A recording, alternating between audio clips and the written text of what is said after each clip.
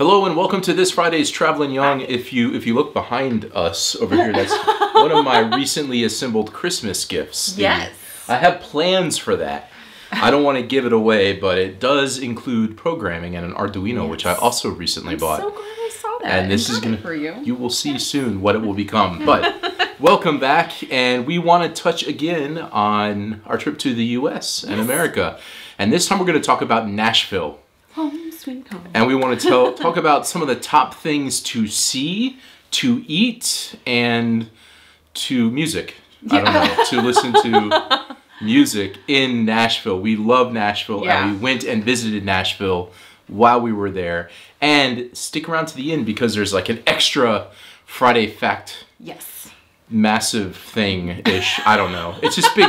It's, there's footage It was a sight to behold. of where we went to university. And we're going to talk about that at the very end because it's close to Nashville. We Yeah. lived in Nashville and that's where we met. Uh, but let's start with what there is to see in Nashville. Yeah, and there's tons of history. Now, Nashville is most known for its music history, of course, Music Row, which we'll talk about in a bit, but there are also some other really interesting historical places you can go to, one of which is an exact replica of the Parthenon in Athens, Greece. Yeah, you don't need to go to Greece. No, you don't. You just need to go to Nashville. It's it's actually historically accurate. It does look exactly like the Parthenon would have looked when it was standing, and it's all painted up. Um, it is just rather unusual that it's kind of in the middle of Nashville. Yeah, they never built- quite, I never quite understood it. they built it for their 100th anniversary Yes. and um, sure. it's still there. so go visit this interesting bit of history. So on to culture. Um, and I'm just gonna touch it's basically music culture, and that's uh, it not be? two big things the country music hall of fame which i am not a huge country music fan i like i like americana music i like some country music but it's actually a really nice museum in downtown nashville Yep. and um, at one time we went and one of our favorite bands the zac brown band they had a big display of Yeah. his stuff there which was super cool because we're big fans of his he kind of straddles between country and rockish and Mm. americana and all kinds of stuff but also music row is there Yes. and that's like this street that has a collection of studios, recording studios, and some of them have had super famous albums, and I'm sure you've heard Yeah. things from Elvis Presley. Some of that was recorded there, as uh, some Elvis stuff was recorded in Music Row. Some of those you can actually take tours of, so Yep. it's super cool. You need to visit Music Row, even if just to drive up and down and see it, but take a tour of one of the uh, studios while you Mm. yeah. can. A lot of people don't actually realize this is just a small fact. A lot of people don't realize that a lot of music is recorded in Nashville just because they have so many facilities there um, for recording music. So everything from rap and hip hop to country get recorded there. So it's really well known. And I will say, while Miranda and I went to Middle Tennessee State, which is 30 minutes away, and at the end of this video, Yeah. my brother actually went to Belmont University, which is at the very end of Music Row, and he Yep. studied music recording because it's such a big, you know, it's just a big part of Nashville of all kinds of music. Also, a lot of really good jazz in Nashville. Yes. Um, all right, so shopping. Shopping, always a fun subject. Um, there is a ton of shopping to do, but the biggest shopping mall in uh, in Nashville now is called Opry Mills, and it's called Opry Mills because it really sits on what used to be Opryland. Um, a bit of a sad story. There used to be this huge amusement park there in Nashville. Josh and I both went to it when we were growing up. It was so much fun, and then kind of in the '90s they shut it down, and now it's a giant mall. Yeah, I have one quick story. I I, I, told her we're going to keep this short, and this is just Yeah. not happening. one quick story about Opryland. So, my grandparents lived in Kentucky, and we'd fly into Nashville. My brother and I, as kids, like little kids. And one time, I will never forget. I get sick on planes, or at least I did. My grandparents picked us up at the airport.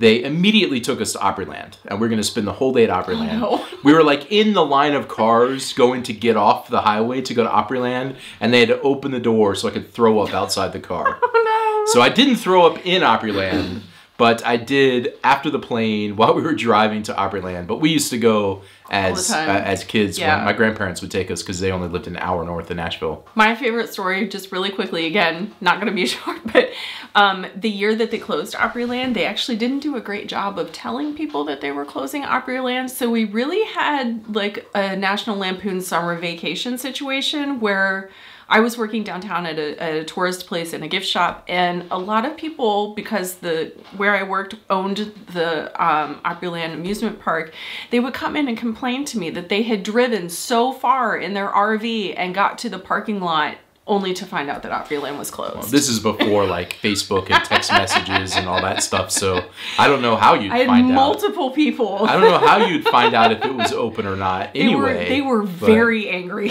All right. So next is sports because sports is actually a growing scene in Nashville. Yes. When we lived there a long, long, long time ago, the NHL came with the Nashville Predators, and then also the Tennessee Titans came, which is American football. Which I'm not Mm-hmm. a huge American football fan, but we did go to a couple Titans games. Yep. And the very last year we lived in Nashville was the year they went to the Super Bowl, and that was just electric. that was amazing. We Yeah. left before the Super Bowl, but we went to one of the games before the playoffs and before we moved, and then Yeah. the whole Music City Miracle. If you don't know this, I'll You link to have this. to look it up. An amazing thing that happened Yeah. in their first playoff game. Um, and then there's also a minor league baseball team called the Nashville Sounds. And then there's an uh, European soccer or Euro, I'm sorry, now I said it all wrong. I It's wanted to get it right. Real football. European football American Yeah. soccer team, the Nashville SC team, which uh, they're actually getting a stadium of their own that's opening next year or this year. So very very cool. Um, and the last thing we want to mention is actually Christmas related because Yes. Nashville, we were there at we left before Christmas Day, but we were there around Christmas season, and they do insane stuff for Christmas. yeah, Opryland Nashville, Hotel, It's so decked out. Opryland Hotel is always decked out insane lights. But what we did is, with our good friends Jen and Steve, we went out about 30 miles um, east of Nashville to Lebanon. I want to say that right. Lebanon. It, it's spelled Lebanon, but if you say Lebanon to a Tennessean, Lebanon. it's Lebanon. um, and they had this crazy display. It was just out of this world. And um, I mean, it was one of those things where you drive through, it took us about two and a half hours, and everything's kind of coordinated to lights. You turn your radio to a, a station, and everything is coordinated. And it just, it was Well, over the top. two two of that two and a half hours was waiting in line because you drive through this so here's the, this is some video of what it was it was Yeah. a lot of waiting great time to chat um, i had to run out and use a porta potty so i did that at one point.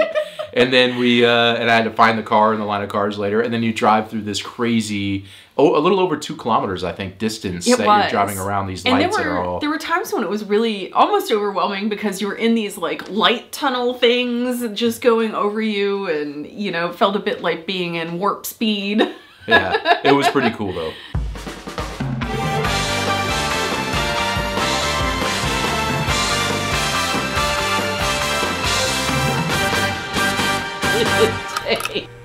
All right, so one of the nicest things to do when you're in the South is eat. Mm. Eat. And we want to pinpoint some of our favorite places to eat when we're in Nashville. yeah and one of the most famous things that you will hear about when you go to nashville is nashville hot chicken and let me tell you they are not messing around when they say it's hot chicken because it's hot one of our favorite places to go is prince's hot chicken shack they're in Nashville and they've got some very, very spicy, spicy hot chicken, but you've got to put yourself to the test. Yeah, the the Hungry Dane here has a hot chicken thing. Yeah. That it's it says Nashville chicken, uh, hot chicken, but I'm um, getting it in Nashville is a little bit better. And last time we went was with our friend Charlie. Yeah, Charlie Witten, who's an awesome, awesome guitar player. Um, you can find some of his stuff on YouTube. Give well, we'll link to it. I didn't get to go this time. We didn't have enough time, but it's Yeah. one of our favorite places. Also, barbecue, as you probably have gathered if you watch enough of our videos, you know we like barbecue. Nashville has great barbecue, and Martin's Absolutely. is super good. And that's one of I, I we didn't go this time. I was really we couldn't go everywhere on this Yeah. trip. but uh, a few trips ago, I went to Martin's and met up with Zack Logan, Zack Logan who Yeah. uh, we interviewed on a, on a previous video. I'll link to that. And uh, he's a super good musician, and it's always fun to meet up with folks like him. And, and it's just super high, good quality barbecue. Mm. Very good. Love it. Martin's Barbecue in Nashville. Yep. And our next place you cannot miss, you have to make time for it, is Cracker Barrel because this is some good quality, down home southern food. It is not pretty food, it's not healthy for you in any way, shape, or form, but that is exactly how you should how it should be. You can go and get tons of breakfast stuff, just plates and plates and plates of breakfast. Their their savory stuff is great. I love their chicken and dumplings. We always go to Cracker Barrel. Yeah, and they're of course not only in Nashville. Yeah, they're all but over. You guys went while you were there, uh, Yes. and we went together in Murfreesboro, Yeah. um, where our school was. Again, later in the video, you'll see some. um, Cracker Barrel's good. And an honorable mention on this, by the way, real fast, is Waffle House. We wanted to go, Yeah. but we didn't get a chance to go to Waffle House either. Open 24 hours, total diner food, and it's actually It is- not so bad. Go to Waffle House, and they're also not just in Nashville, but there's a ton in Nashville. Tried at 2 a.m. It Yeah. hits different. All right, now we're going to talk about actually a Mexican meal because we Yes. talked on previous videos Oh. about how we love Mexican, and we actually recorded a bunch of stuff Yes, there. So let's just go ahead and look at that right now. We've got Miranda, who you know. We've got Maya, who you know. You've got Jen, who you don't know. And we got Steve, who's next to me, whom you don't know. But guess what? Now you do. Jen and Steve live here in Nashville, and they're Maya's godparents, and some of our very best friends who always bring us to this wonderful Mexican place whenever we're here in Nashville. And I'm doing all the talking, but I had to say one story about what we have right here. Our mutual friend Joseph. this is cheese dip. Cheese dip for the nachos. Our mutual friend Joseph would say that his mom would call this cheese soup and she would eat it with a spoon. Not what it's I meant see for, but nothing it's wrong super with good. that. Yeah. Miranda, do you have anything to say? This is you're fulfilling your dream of getting This a just like I'm just Mexican. oh, but you like Mexican and you can't get I Mexican like love this. Love Mexican. You cannot get Mexican like this in Denmark. I don't care what you say. Um, this does not exist in Denmark, and my heart is happy right now because I have my giant margarita. And I do not, which I'm really sad about, because we're we're in the land of 21 drinking age. Yeah. None for you. You're in No. a margarita sandwich. And you're But the re- but Steve is drinking a soda in solidarity Yeah. with you. Yes. Yes. Yeah. Thank you, Steve. Let's we all got different things basically almost. So Steve, what did you get? So this is called pollo poblano. It's chicken with uh, with uh, grilled peppers and onions, and then there's a little bit of a cheese sauce kind of on the bottom. Looks fantastic. Miranda, you're way over there, but you I I got the classic Mexican restaurant favorite chimichanga. got all right. Maya, I'm honestly a little bit confused. I got what I thought was a taco, and it appears to be a sandwich. I believe you It's have a a torta. torta. torta, Okay. like So- a Cuban sandwich. Uh, that, yeah. Basically. You've got a chimichanga as well, I do. I have a chimichanga with ground beef. and that means it's fried. No, It's Yes, fried. the whole Yeah, thing is fried. I got Lightly fried. a bunch of Thank you. meat. Thank you. We got some Thank you. extras. Okay. Awesome. Thank you very much. I got a bunch of meat with chilies, tortilla, and refried beans. This is like, I, I mean, I'm excited. And you look, should be. Looks we've delicious. taken a serious hit to the uh, Yep. to the cheese situation, Cheese Cheese but we have did not even refilled the have a chips. Ready to rock, guys? Yeah, yeah, ready to rock. Ready to go. By the way, we've all basically eaten. My plate is like done for, but we got to show this cheese soup in This action. is like five minutes later. yeah, yeah. It's only a few moments have passed. Yeah, so the cheese soup, if it sits, it gets like a little bit of a, you know, a little bit of film on there. So you gotta like break through that, and and let me show you the like the consistency here. Like this is perfect queso Yeah, it's- right here. it's Like, only good is, if this is what you want. There's like trailing dots yeah, yeah, of there you go, cheese go. on the Right, table going to you that drip off as you're eating it. That's when you know. Points if it goes right up your shirt. or or like you get it on the side of your mouth because it just doesn't all go in right. Uh, All right, so we've got this um, very special.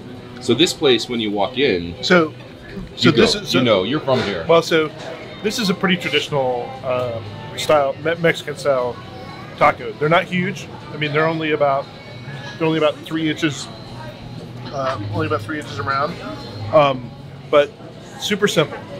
Uh, protein. Um, this is asada, which is steak, but you can do it with chicken. They also have tripe and tongue and everything else on the on the menu.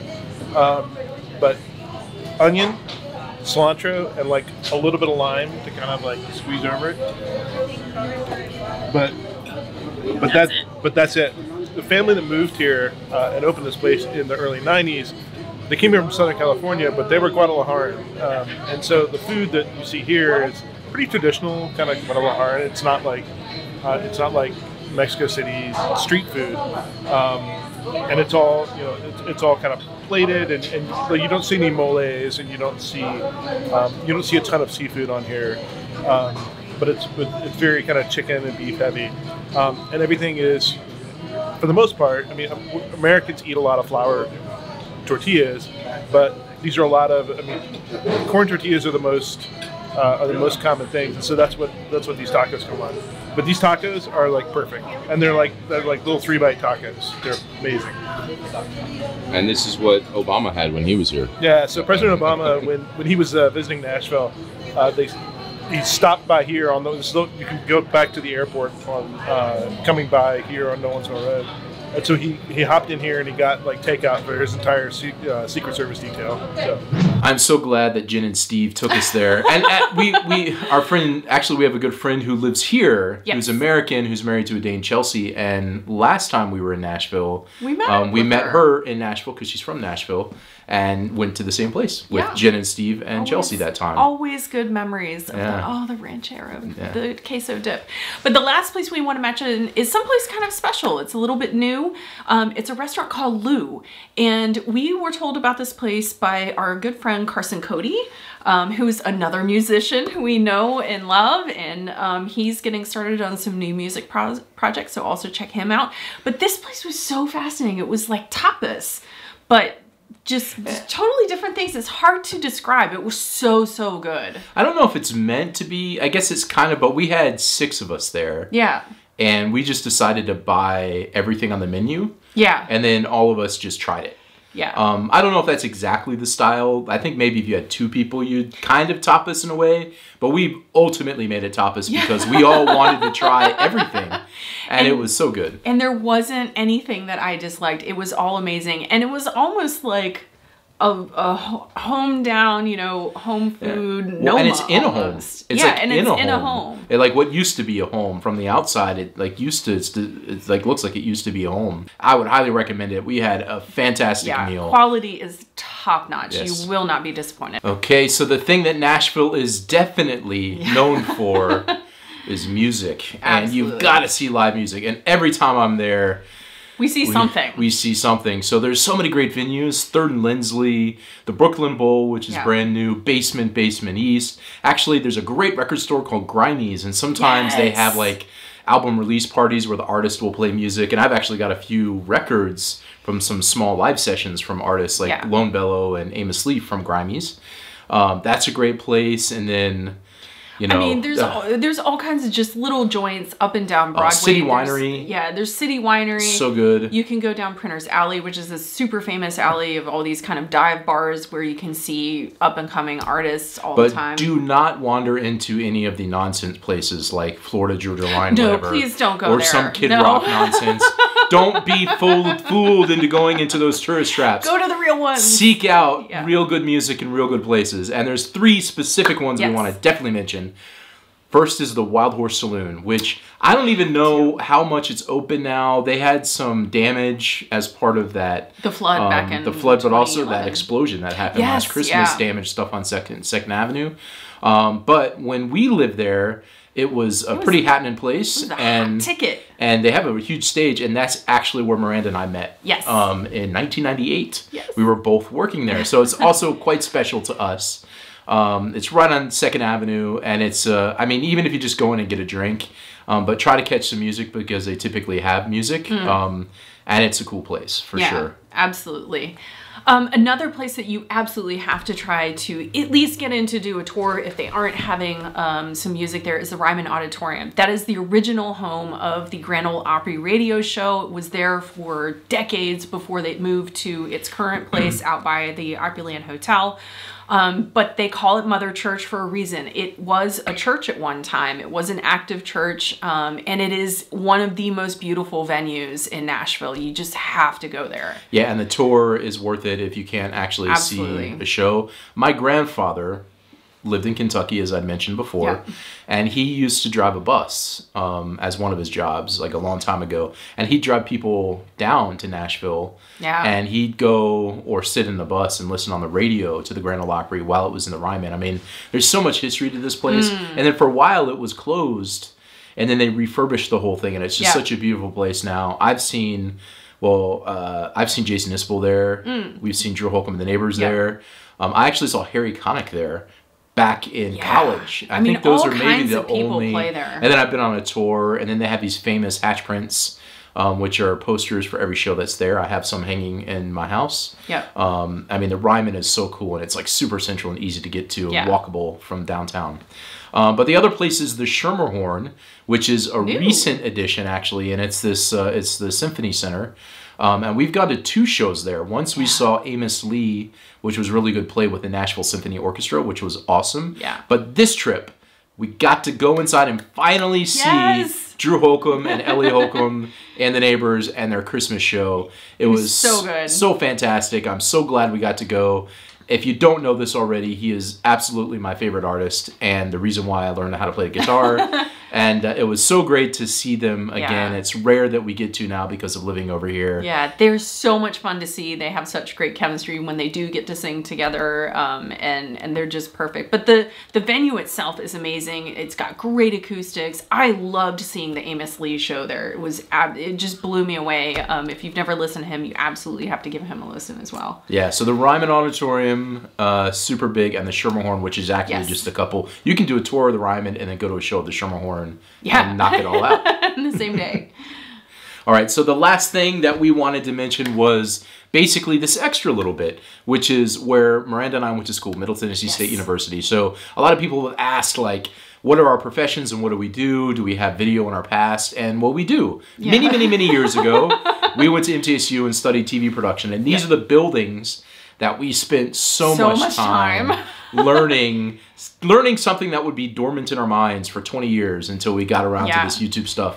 And it was so cool to walk around the campus and show it to Maya. Yeah, and it's just fun going back, um, going to the music. I minored in music, so I spent tons of time also in the music building. Um, but like Josh said, we both major. Well, you majored in recording industry and also minored in in television production, and I actually did television production. So we spent so much time in those buildings. So it was really cool to get to go back and kind of talk about our history and our origin story and show it to Maya. And show it to Maya. And so that's an extra little special thing for you at the very end.